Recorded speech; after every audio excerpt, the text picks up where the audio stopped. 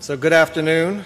I'm John Lorsch, Director of NIGMS, and it's my pleasure to welcome you to the DeWitt Stetten Jr. Lecture.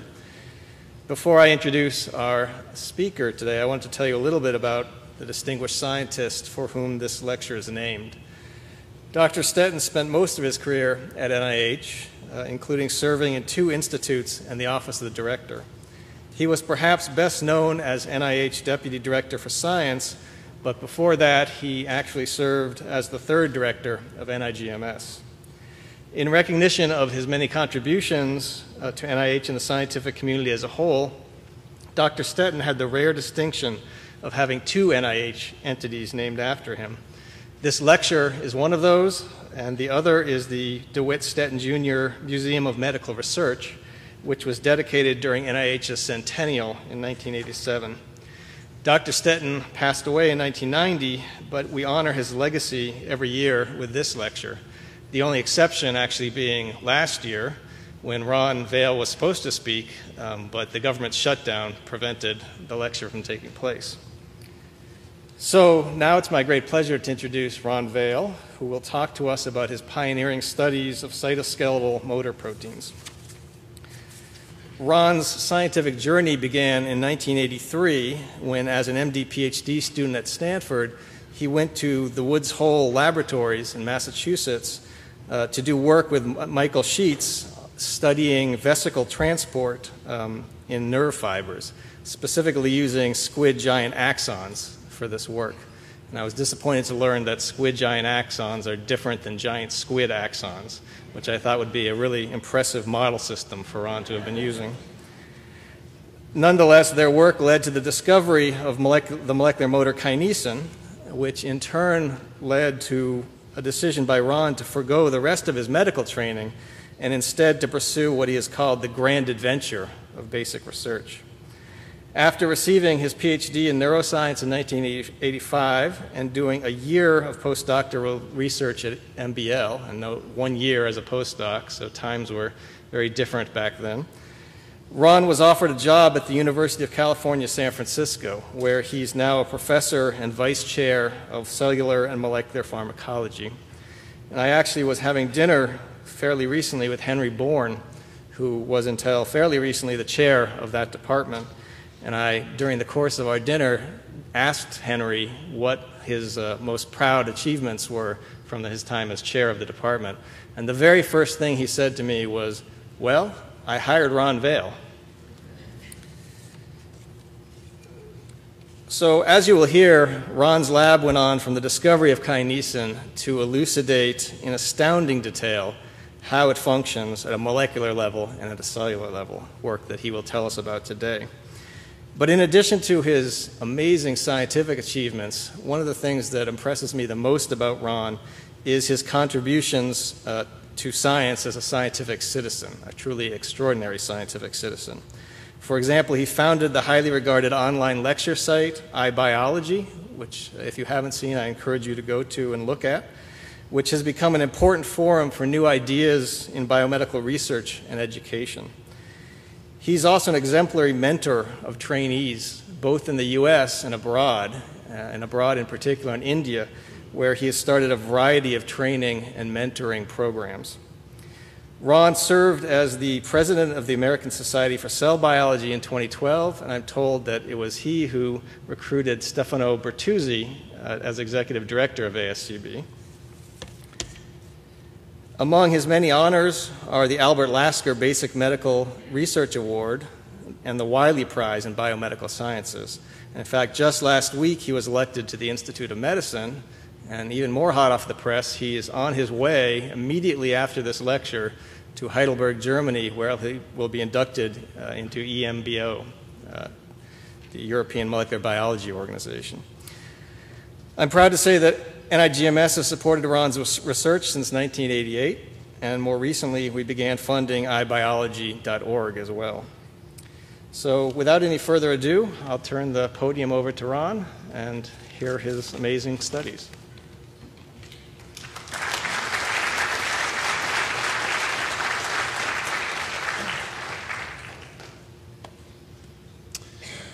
Well, it's an enormous honor to come here and uh, give this talk. Uh, you know, essentially, I owe my entire scientific career really to the NIH. Uh, what John uh, did mention is actually all the work on kinesin was performed in a NIH-sponsored lab of Tom Reese at the Marine Biological Lab at Woods Hole. And my one year as a postdoc was really as a staff scientist uh, uh, with the NIH at Woods Hole. So that was the start of my career. And really, uh, ever since then, my research work has been um, supported by NIH. I, I, guess it was really the wonderful days where, uh, you know, you submit your first uh, R01, and I was uh, supported uh, from that moment on on really all the work that we've done on molecular motors. Um, so I- indeed, my entire career, uh, you know, I, I, owe to the NIH, which is really kind of the model of the world of uh, uh, how to do um, uh, high impact science and how to make discoveries that move science forward and also uh, influence uh, medicine around the world. I do want to also say that you know, I love science, uh, but as you've heard, I think it's really important, especially for senior scientists, to take a very uh, active role in building uh, our scientific community. And it's really essential that, you know, science is not just people uh, going into the lab and pipetting, but it's really about creating networks of people that um, allow us uh, to do the best possible research. And I've had a few projects that really just started off as very grassroots idea, some which came out of um, lab retreats, and uh, then through help with NIH led to what I think have become very uh, influential international projects. So I just, before I get into the science, I do want to highlight some of these.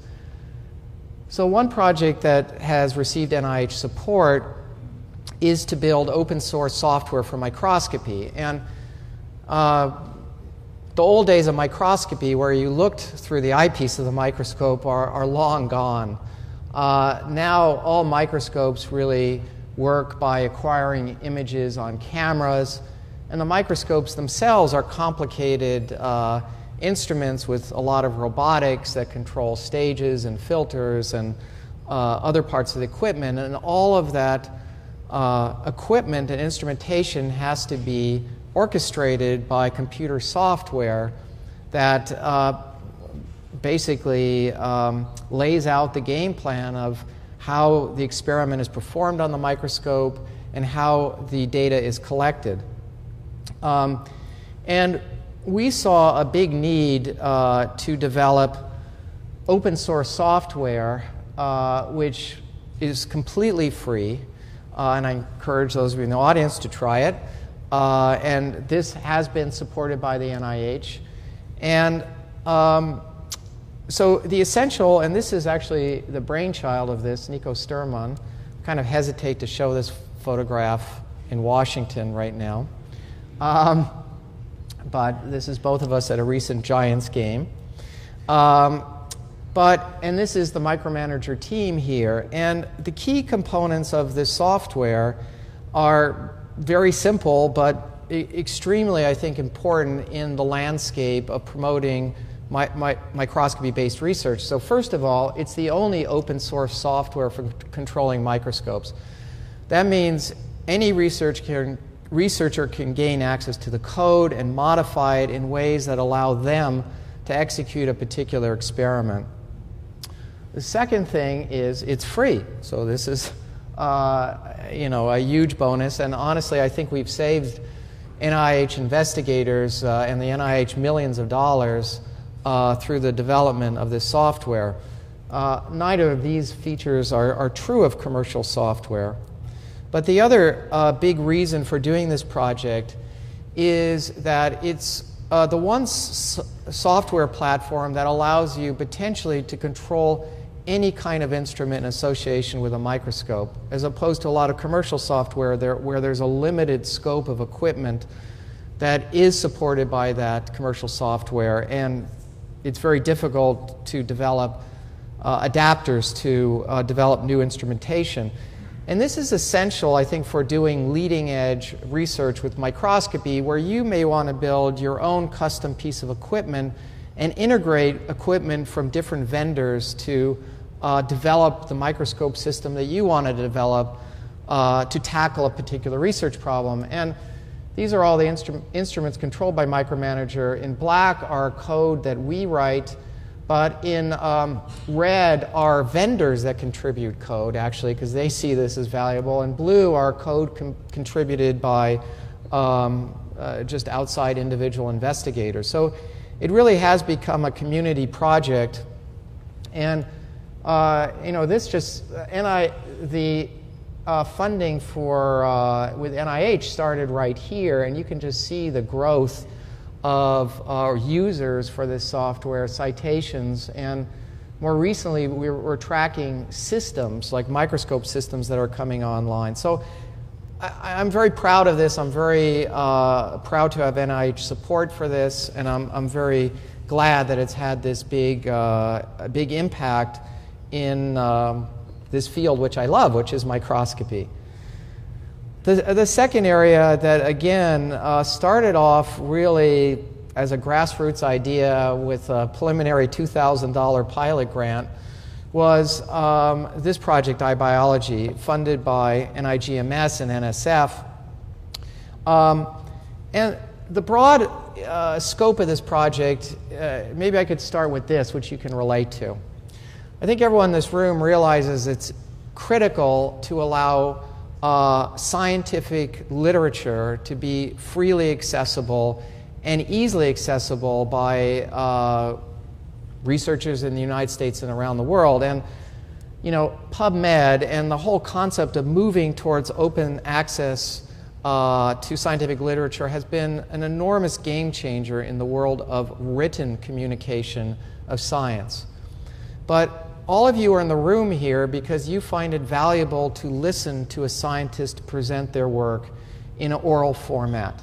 And indeed, this has been an age old mechanism for the way we both communicate science and also really understand scientific research and the whole scientific process. That's why we go to seminars, that's why we go to uh, meetings. But keep in mind that there are institutions like the NIH, like UCSF, like other elite institutions that have funding for uh, seminar programs. And I think there is a real, uh, actually, a moral imperative that uh, the entire world, just like literature, has a chance to listen to scientists communicate their work in oral visual format. And because of this moral, I would say, you know, a critical imperative, you know, we started this project, iBiology, again, to make research, ideas, opinions of leading biologists freely available. Um, this is uh, funded by NSF and NIH, supported by ASCB. It's had a lot of support by HHMI uh, in the early days.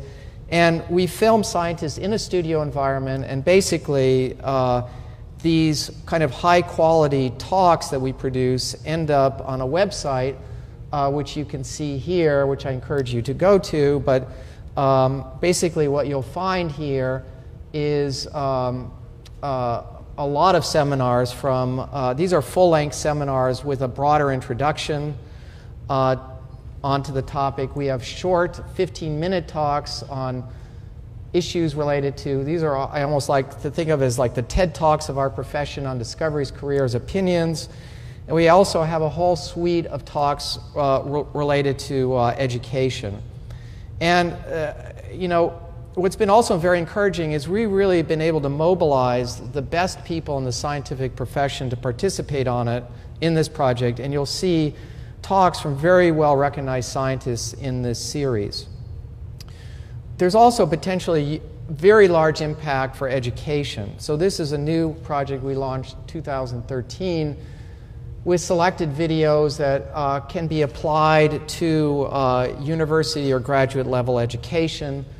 We produced our first courses. We have one on uh, light microscopy, actually, other on scientific teaching, uh, short video clips that can be used in classrooms, also starting to produce new talks designed more for high school and college. And about uh, 50% of this material is right now being used in, of, in, at the college level. And also, uh, this is the user uh, growth for this. This is where uh, NSF, NIH funding started. But um, we're right now up to about uh, close to 2 million views per year, and the project is uh, getting wider and wider recognition and attention and dissemination in our life science community. So, you know, I think the exciting part of this is us as scientists who love what we do as scientists, who love our profession, who want to communicate the excitement of our profession, who you know, want to describe the beauty and the process of, of how we do science, not just didactic facts, but really the process uh, that's inherently beautiful about um, research discovery. That you know, this can be an engine for, for communicating this, and to involve all scientists in our community in this process. Okay, so on to science. What I'm going to talk to you today is uh, about motion. Um, and again, the wonderful thing about this subject is everyone understands that living organisms can move. You can ask uh, a kindergarten uh, student that. They appreciate this as one of the fundamental at- attributes of life, such as this uh, movement of a large organism, or when you look under a microscope at pond water, you can see lots of organisms swimming about, each with their own kind of motility. Uh, the concept of motion uh, takes another and even more exciting form in many ways when you look inside of virtually any cell. Uh, when you peer in with a proper microscope, and this is a, um, a, a, giant axon from a medium sized squid. Um, but you can see that the whole interior of this axon is teeming with vesicles moving up and down this axon. And we know this is true for any cell. Any cell you look at in the microscope has, uh, is moving components around in a purposeful way to different places of the cell. And um, the beautiful process of uh, division. Uh, this just shows chromosomes in green, microtubules in red. The chromosomes align in this fly embryo, and then the chromosomes physically separate all of that orchestrated motion of building the spindle and moving chromosomes is another example of biological motility. I mean, what we're discovering is that motion is almost essential for everything that we uh, look at in biological systems. And to carry out this myriad of motor driven processes, humans, for example, employ a number of different kinds of molecular motors that fit in these categories. One are the actin based myosin motors, which has a long history of great research uh, at NIH. Um, then there are the microtubule based motors, one class called kinesins, which I'll start on later. I'll talk about dyneins. And the reason why there's so many is that the cell has so many jobs in terms of motility, it deploys these different motors for different motility jobs in the cell. And uh, these motors are also uh, mutated in various kinds of human disease, and I think there's also opportunities to manipulate these motors to treat disease as well. And I'll just give you one example, and I will mention uh, this is from a company that I co founded called Cyto- Cytokinetics, and I am on the SAB for that company. I do hold stock in that company. But I, I want to show you really what I think is a, a pretty amazing result which this is a patient uh, who has a failing heart, so heart failure.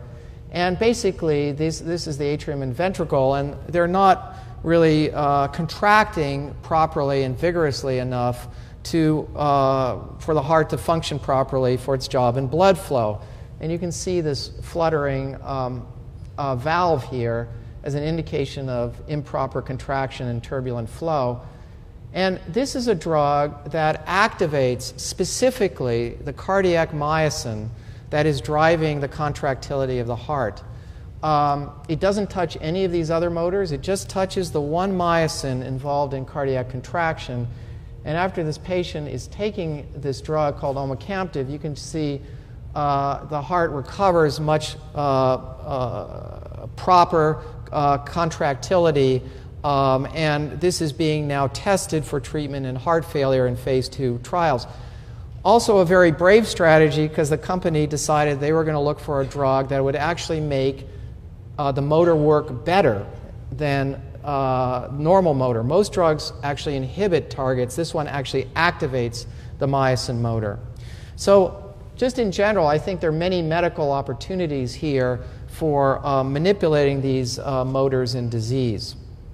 So, what I would, though, like to talk about um, is kind of the basic uh, biochemistry uh, and structural biology of how these molecular motors work. I would say, let me point out, that development of that drug that I showed you required a basis of years of uh, basic research to even make uh, the initiation of that d- drug discovery process possible.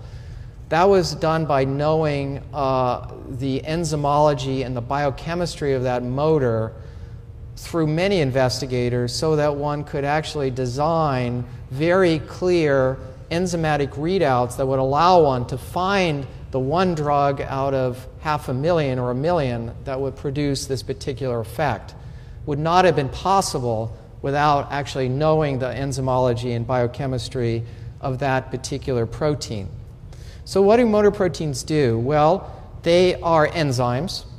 And what they do is they take chemical energy and convert it into motion. And they do so by taking this chemical energy source, which is ATP, hydrolyzing it, and then going through a sequence of chemical events where they first release the phosphate, then they release the ADP, and then they start this cycle again.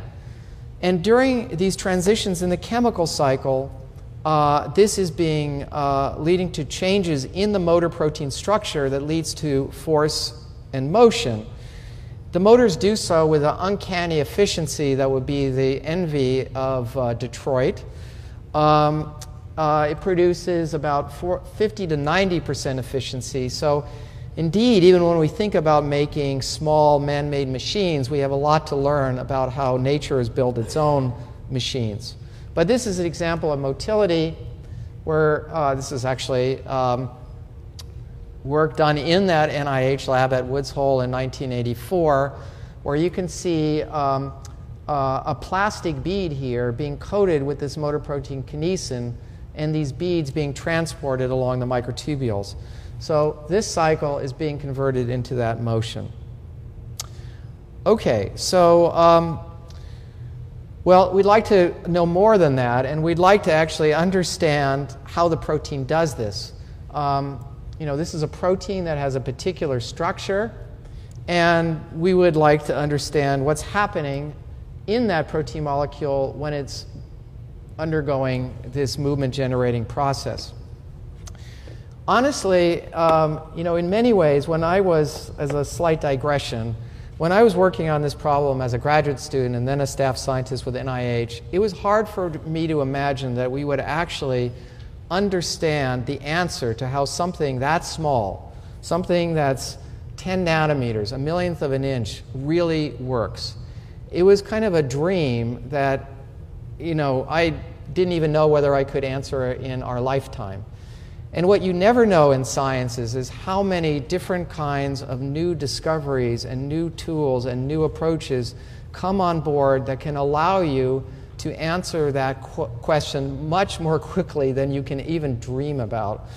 And indeed, what became like maybe I'll never answer this in a lifetime, actually converted into reality in maybe about 15 years through work in our lab and others. But let me frame this in a conceptual way that uh, this actually shows an old um, uh, high speed photograph to answer a basic question of how a horse gallops. This was sponsored by Stanford, uh, Leland Stanford, using new technology to answer a question whether the horse ever galloped with all of its legs off of the ground or whether there always had to be an intermediate state with one leg attached.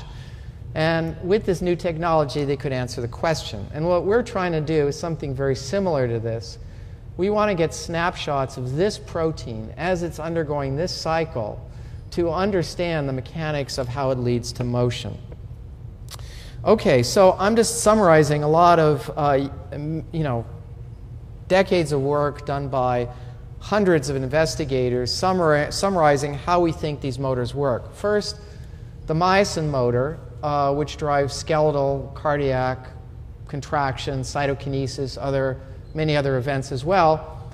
Um, but this is an animation, but based upon a, a lot of research where you can, um, oh, I think I need to click on it. You can see uh, this motor here bind. It's now releasing hydrolyzed ATP. It releases the phosphate. That phosphate release causes a large structural movement of this big portion of the protein, which you call a lever arm. ATP comes in, it dissociates it, it recocks now and can start another cycle. So the motor binds, it strokes, it forces the actin filament to move by about 10 nanometers, and it recocks. And maybe, as Carl Sagan would say, it's billions and billions of these events that cause cumulatively your muscle to contract. Uh, for kinesin, we also have a good idea of how it works. Um, uh, slightly different. It uses its two heads to kind of crawl in a hand over hand manner where ATP binds. It causes a structural change in this small little piece of the protein.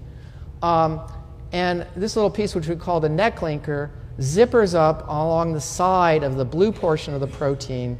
And this little arm effectively causes its partner motor domain to move, for, move from a backward site to a forward site along the microtubule, a little bit like a judo expert with a flip of an arm might throw an opponent from a rear site to a forward site.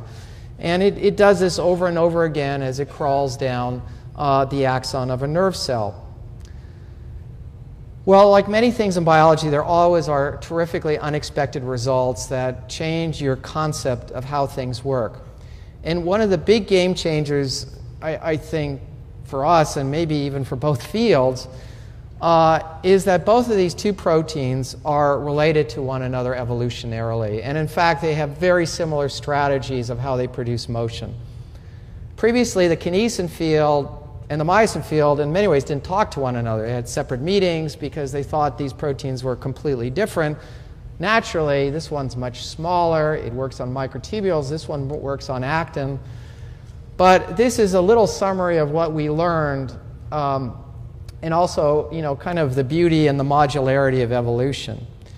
So uh, both these proteins are structurally similar. They clearly came from a common ancestor, which is actually related to G proteins. And the common piece is this blue core. This is the ancient part of the motor. It's what does the chemistry, and it does a little more than just the chemistry. It actually contains a chemical sensor that can tell the difference whether there's ADP or ATP in the active site. Um, it then has another common element, which is an information transducer. It's a long helix you can see in green. One end of that helix is talking to the nucleotide and changing its conformation. The other end is talking to a mechanical element. I showed you the two different mechanical elements for kinesin myosin. They are indeed different, but the strategy is this little green helix talks to these mechanical elements to change their state. So that's the green helix there. These are the mechanical elements. So what we could then begin to realize by looking at these two things, a common commonality of a general strategy of how these proteins produce motion. Okay, so now with that general background on how motors work, let's fast forward to 2014, and I'd like to tell you about uh, our very recent work on dynein motility. So we made kind of a strategic uh, decision to move away from kinesin and onto dynein probably about 10 years ago. I still have one student in the lab working on kinesin, but the reason is we were beginning to understand kinesin much better. And I think it's always important to take on new challenges and enter arenas that are less well understood. So at that time, clearly dynein was the frontier uh, of molecular motors. Very little known about how it works. I'll describe a little more later why dynein was such a challenge. But, well, this, this slide describes it pretty well. It's massive. It's uh, the entire uh, dynein motor protein. These are the motor domains. These are chains that interact with cargo, but it's about one and a half megadaltons. So uh, this is really one of the largest uh, polypeptide chains and largest protein complexes in the cell. Uh, but it's incredibly important for so much biology. It's what drives ciliary beating, or the beating of sperm, of the cilia in your trachea, organisms in pond water. It also transports in mammalian cells virtually all types of cargo from the plus end of microtubules, which is at the periphery, towards the center. Most kinesins move in the opposite direction. So dynein counterbalances kinesin in cargo transport for proteins, for RNAs, for organelles, viruses. Um, it also is involved in building the mitotic spindle and in kinetochore function and checkpoints that are involved in the cell's decision about whether it wants to undergo division or not. So the amount of biology that this protein family is involved in is, is you know, just enormous. And this is just a subset that I described. So it's important protein to understand. So we got into the game uh, through, first of all, a very brave postdoc who tried to tackle this project. Samara Reck-Peterson, who started uh, our lab using cerevisiae as a model system to produce dynein and also develop motility assays. Um, this is a single molecule motility assay that she developed. Microtubules in blue, and each of these spots is a single dynein molecule from yeast that's labeled, and you can see it being transported beautifully along these microtubules. So this is an example of processive movement, that these molecules move once they bind for long distances along the track.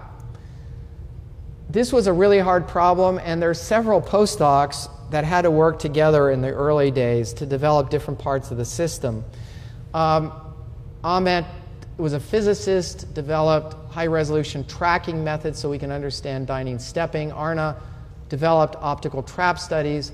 Andrew was a gifted uh, crystal, is a gifted crystallographer, did some of our uh, work setting up uh, structure work on dynein that I'll tell you about more later.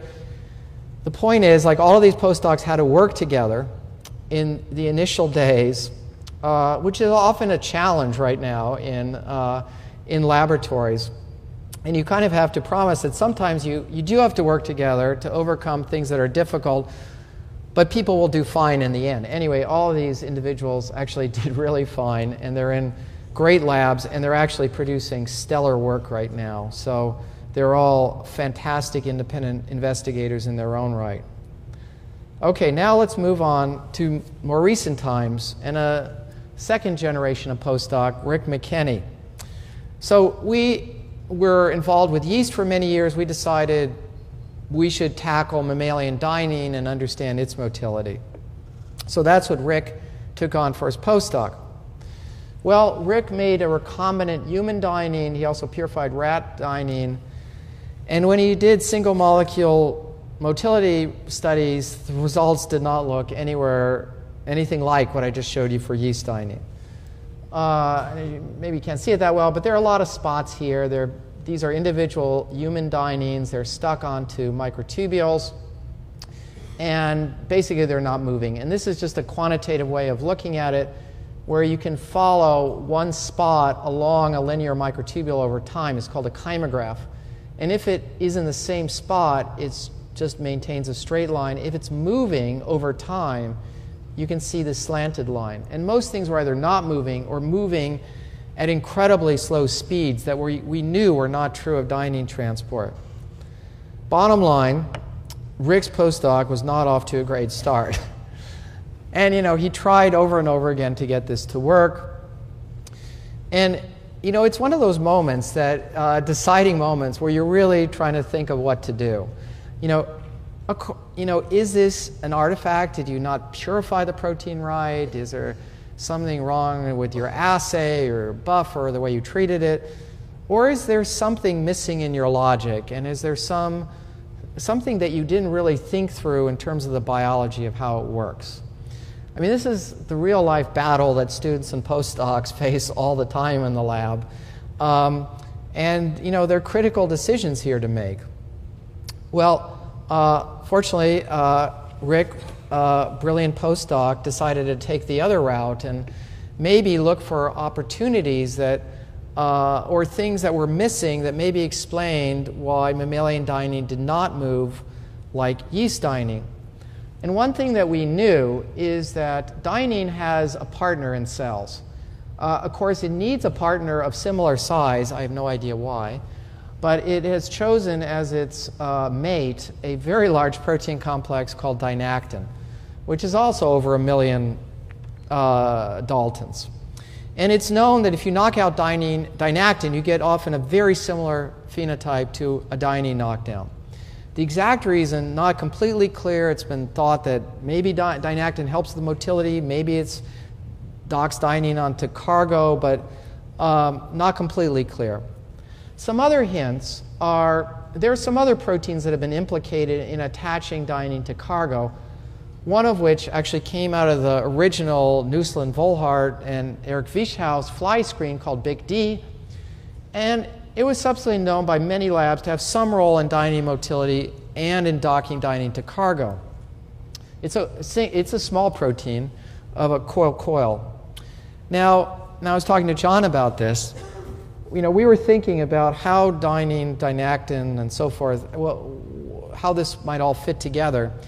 And there was a paper that came out at the time that uh, described that you can make a biochemically tight complex uh, with dynein, dynactin, and BIC-D, that the three of them came together in a stable uh, biochemical uh, complex.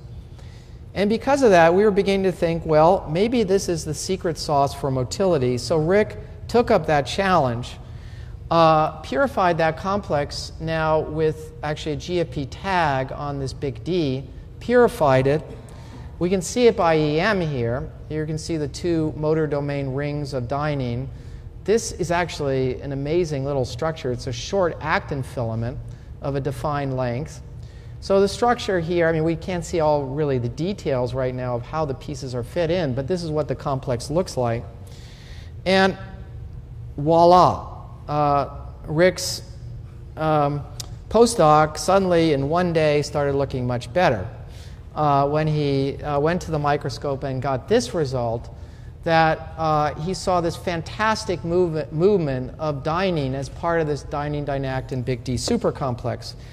And now these kymographs show these long, long uh, diagonal runs, which are indicative of very processive movement. If we quantitate them, these molecules are moving actually much better than kinesin um, in terms of length of travel and, and, far greater than any movement that we've even seen with yeast dynein. So we've got this ultra processive movement. Um, and actually, I should say that independently, Andrew Carter, former postdoc, through the same kind of logic of reading the literature, actually um, ended up publishing a very similar to the result that I'm showing you here. So um, we then, this was very exciting, but then we, we then wanted to know is this just a peculiarity of the, the, this BicD, or is this telling us something more general about how dynein is regulated in cells. Um, and what we knew about BicD is that it's an adapter protein that it not only binds to uh, dynactin and possibly dynein, but it also binds to proteins that are docked onto vesicular cargo. So it was known to bind to a Rab protein, which is a GTPase, only in the GTP form. And this Rab is found on um, specific cargoes in cells, mainly the Golgi. So we wondered is this a general mechanism whereby adapters link dynein onto different cargo and also, in the process of linking onto the cargo, potentially activate it? So, in the literature, there are other kinds of coil coil proteins, which I'm listing here, that also attach dynein onto recycling endosomes, early endosomes, and the kinetochore. So uh, Walter, who I did show you before, is a graduate student in the lab, made these, uh, these proteins to test that idea, and again, beautifully, uh, the result worked the same. All of these other adapter proteins uh, form tight dynein dynactin complexes, and induce this uh, very nice ultra-processive movement. So what is the mechanism of this movement? Well, honestly, I'm going to tell you, a, we don't fully understand it, so I'm just going to give you a, a, little progress report that is no doubt incomplete and uh, will no doubt change in, in, in, a year or two. But the question that uh, came up immediately is whether microtubule binding by this dynactin complex may play a role in the processive mechanism. So we obviously dynein binds to microtubules. It does that by this long stalk and this little microtubule binding domain. But dynactin has a similar antenna and a microtubule binding domain on its end, and that's been previously characterized. So we wanted to know if that microtubule binding domain is involved in movement. Um, so as a first approach to this problem, what we wanted to do is in the previous movie I showed you, we were, we were just following one of the components. We labeled, for example, BicD with GFP, but we weren't seeing dynein or dynactin. So now we wanted to look at, with different colored labels, dynein with a green GFP label, and using different fluorescent labels, a blue tag on BicD, a red tag on dynactin, we wanted to see the behavior of each of these components um, and follow them by microscopy. So um, as a start, you know, we can now combine them in different combinations and ask also how they bind to microtubules. So here we're combining dynein and dynactin uh, without BIC D. And this is our same kymograph. So, you know, a line here indicates something is bound to a microtubule. In this case, it's not moving because there's no diag diagonal lines. But di is binding but not moving. Interestingly, dynactin is not even bound. And this was an unexpected result because if you chop off that big antenna that I showed you, it binds to microtubules great, but in the context of the whole complex, it doesn't. So we think actually dynactin is auto-inhibited by a mechanism we, have, we don't understand right now. But when we add BicD, now everything is co-localizing and everything is moving in together on the microtubule. And I can just show you this from this movie where there's a green, blue, and red, uh, each of these components. They're separated in space because the camera is taking a green snapshot, a blue snapshot, a red snapshot, and while it's taking the different snapshots, dynein isn't waiting, posing for the camera. It's actually moving along the microtubule. So uh, um, that's what you can see here the green, the red, uh, uh, moving together as uh, a single complex along the microtubule track. So that gave us some insight into dynactin regulation. It still didn't answer the question of whether dynactin needs to bind to the microtubule. It might activate dynein by another mechanism. So here's a little tool or trick we use to investigate this problem. And that is microtubules are interesting. Everyone draws it in the textbook as this big cylinder. But in fact, there's the globular part, but there's a disordered C-terminal tail um, from tubulin, which is unstructured, and that's why it's never shown in the textbooks. But um, uh, you can cleave off that, that, that C-terminal unstructured peptide with subtilisin and create two different kind of microtubule tracks. So why is this interesting? Well, we know dynein binds to both of these kind of microtubule substrates equally well, but dynactin doesn't.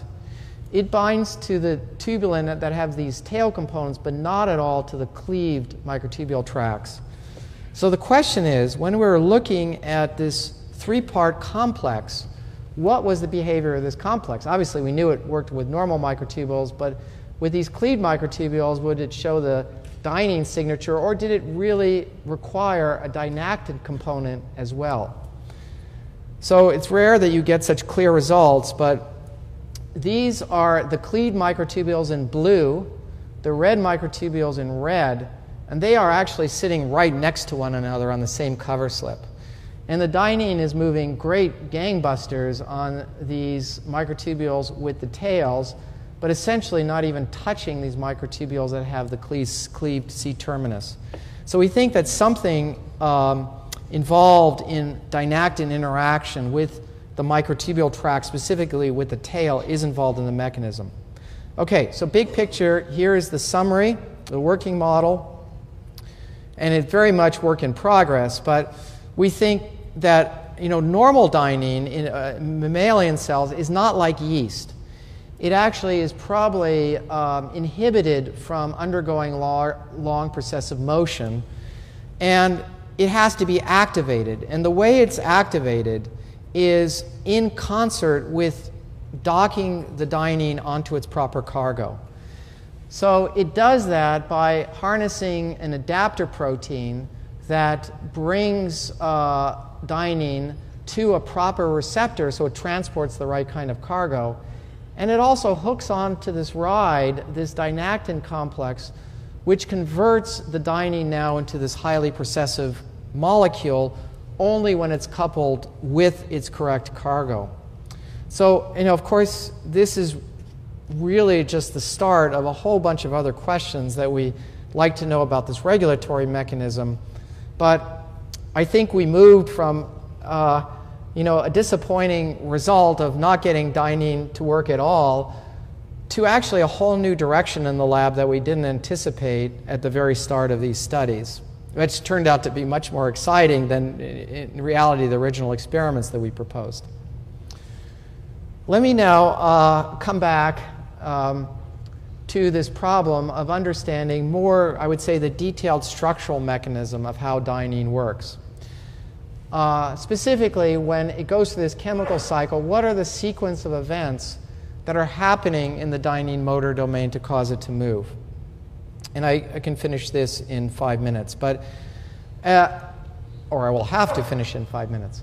Um, let me just say, for those of you that are saying, well, you understand kinesin, it's another microtubule motor.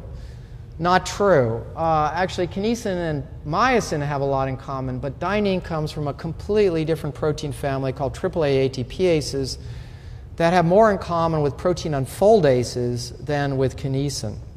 And these are, for example, in unfoldases that stuff polypeptides into degradative chambers like the proteasome.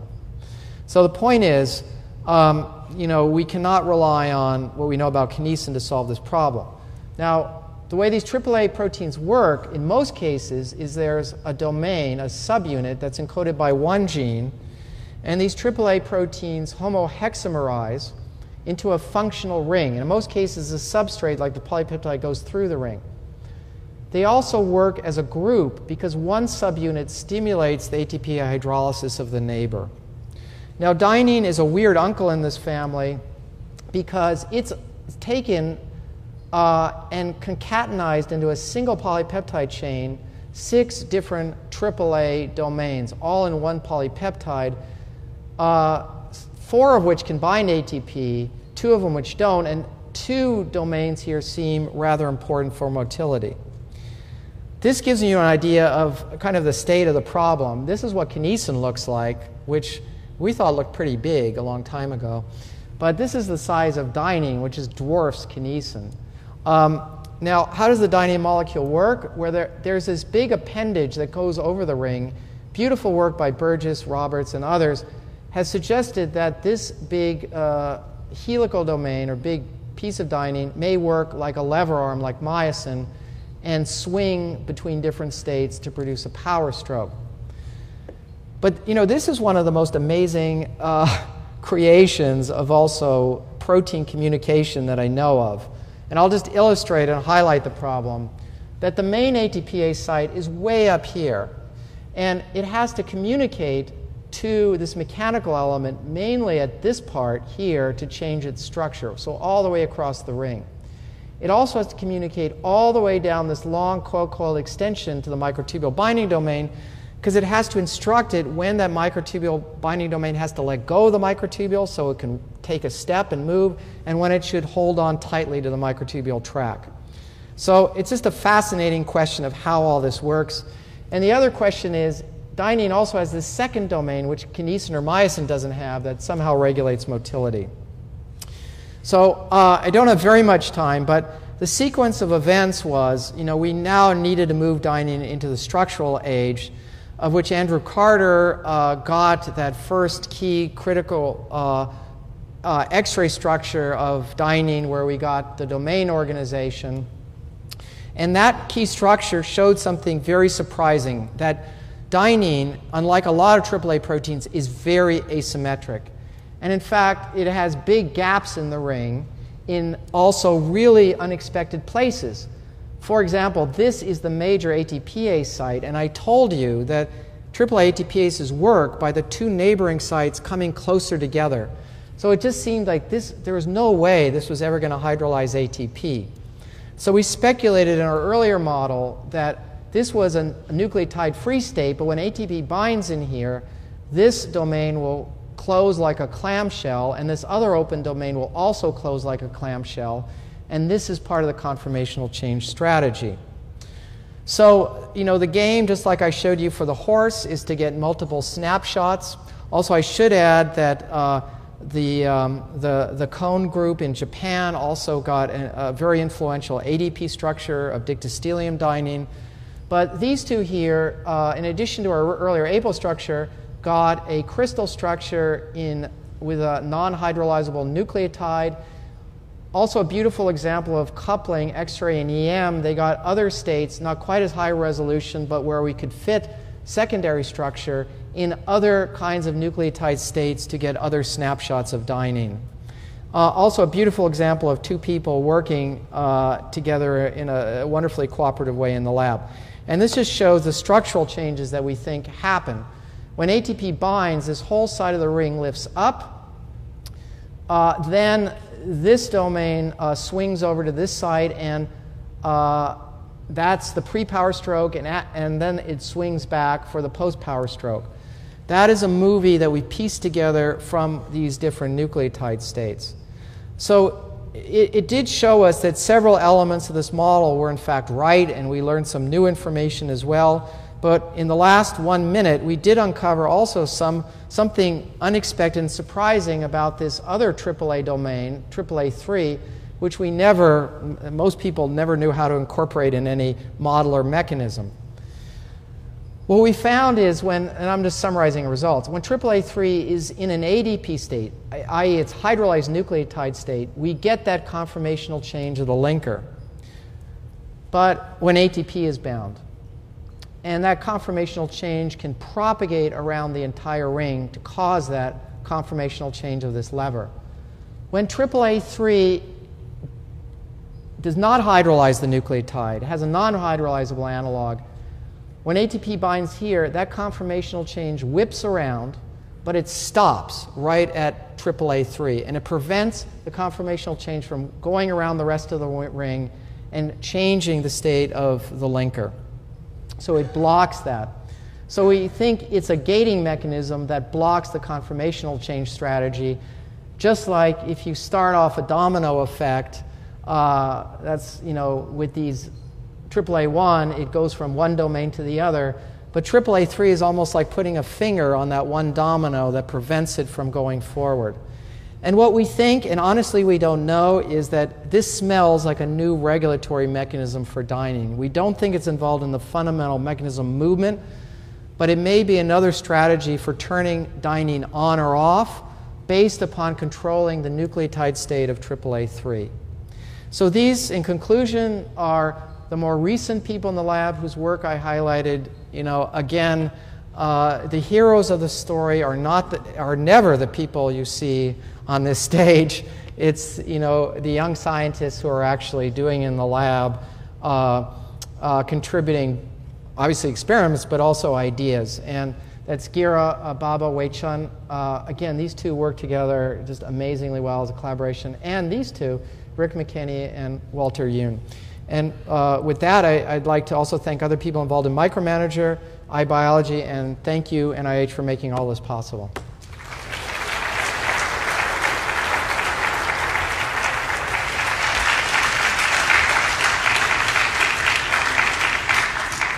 So, as I said, Ron has a taxi at five That's minutes. That's okay. I have four. a good 10 minutes. I have a good 10 minutes. We'll take questions, Ron. I do want to say that even though he's going to Germany, we will have a reception in the library uh, in his honor.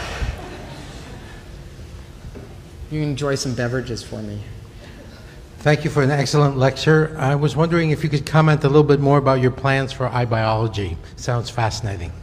Well, uh, thank you for that question, which Uh, if I fully answer that, I will never get my plane because I'll be talking, because uh, uh, I think there's so many exciting things for that project that I, you know, I just went to the NIA, uh, NSF yesterday and I brainstormed for them on two hours on that specific question. And it's been part of our discussion um, at, at, at, uh, at NIH as well.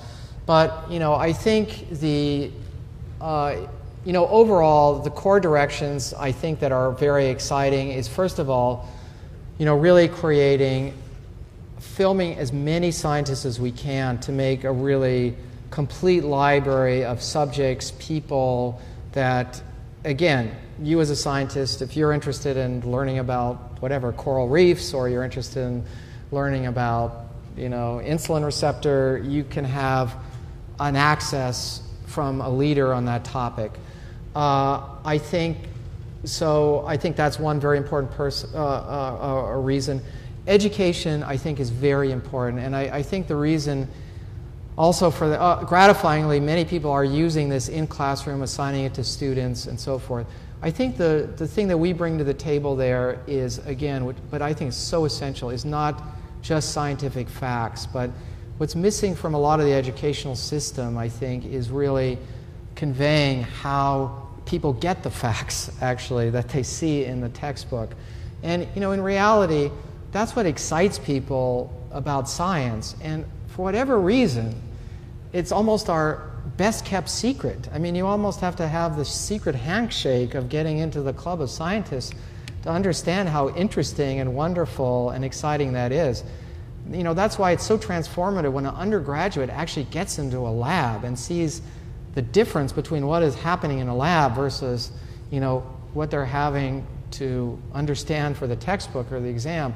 So I think, you know, this formula of really getting outstanding scientists to communicate what we're doing at any level, whether it's high school students, graduate students, the general public, is a very, very powerful mechanism for education. And, and I'd like iBiology to be the flagship of that.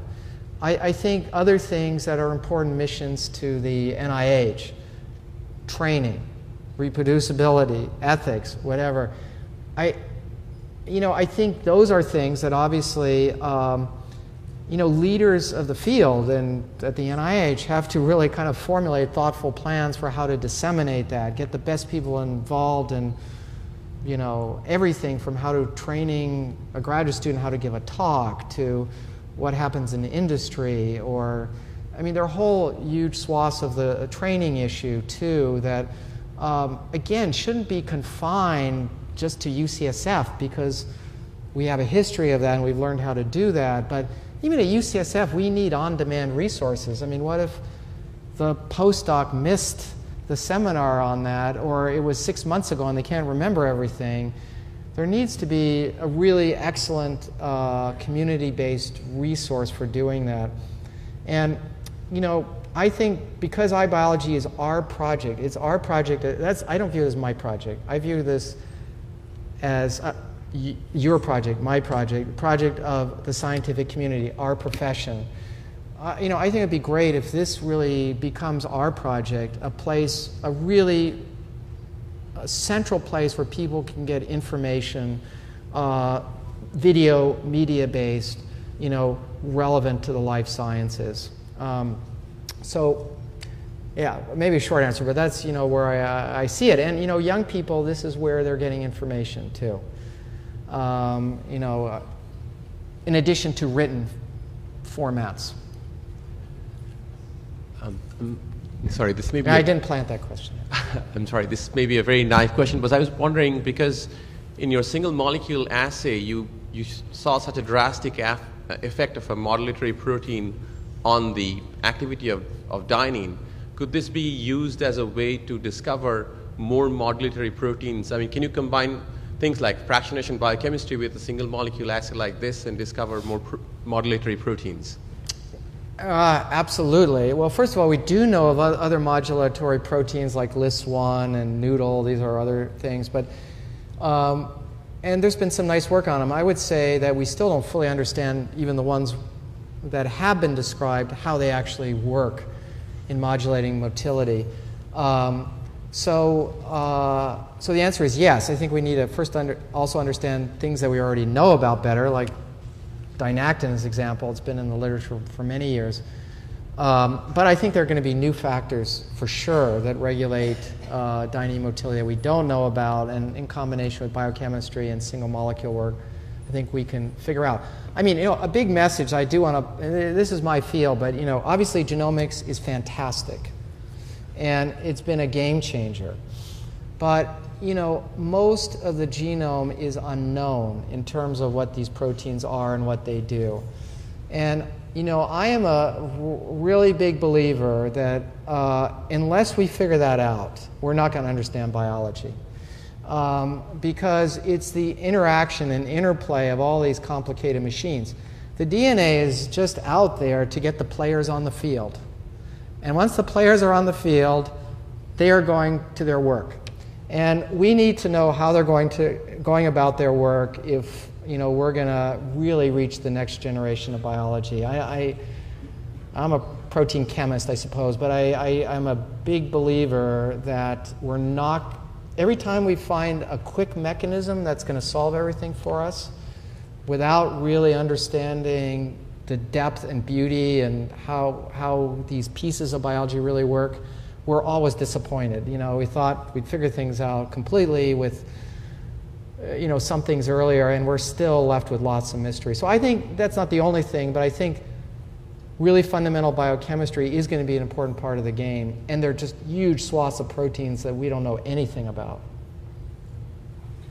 Really quick, what do those CTT do, do you think? What? Those C terminal tails on the uh, Yeah. microtubules, what do you think they're doing? What, well, they, uh, they are the one site on tubulin and microtubules that is modulated. So if you look at tubulin overall, uh, from yeast to man, the core part that I showed you is almost identical. If you look, uh, human isotypes, I can't remember, there's maybe 15 alpha and betas. Where they mostly differ is the sequence of the C terminal tail. Also, all the post translational regulation, or virtually all, not quite, but almost all, happens not on 90% of the protein, but on that 10% of the protein that's on the tail. So, this really looks like the major mechanism of regulatory uh, re- regulation of tubulin. And so this is an example. I, I, I think there are post-translational modifications on tubulin that are modulating dynein motility, for example. I, th- I think it's the tip of the iceberg. Uh, we know where to look. It is these C-terminal tails, and I think there's a lot of regulatory mechanism there that we don't understand. But it is the place that we know gets changed by the genome and by post-translational events. Have you ever checked whether microtubule binding proteins or the addition of cargo affects the velocity of your dynein di- dynactin complex? Because it's very fast on your naked microtubules in vitro, but I wonder what would happen if you would have it in a cell where you have like other factors affecting that. Yeah, that's a good question. So the question is, just to repeat it, you know, what are factors that regulate velocity? Uh, yeah, so I mean, gratifyingly, we're getting velocities from this complex that are very similar, especially when we heat up the stage to 37 degrees, that are pretty similar to transport events in cells. Um, so it means we're getting uh, close. But there are some reports, interestingly, for kinesin motors where people look at motility in vivo that looks faster than it does in the reconstituted systems. And I think in general, that's always a great opportunity for looking for new biology. You know, we constantly reconstitute things. Uh, you know, DNA replication was developed through reconstitution. But then you always find things in the reconstitution that are not quite the same as there are in vivo. And then by identifying those, you find additional elements of regulation uh, uh, in the system. So uh, I think there's probably more to do in velocity that in vitro and in vivo that you know the field hasn't tackled yet. I would say for this thing, we're getting pretty close to in vivo velocities now with this complex. Thank Well, let's thank Ron for a spectacular talk. Thank you very much. Thanks.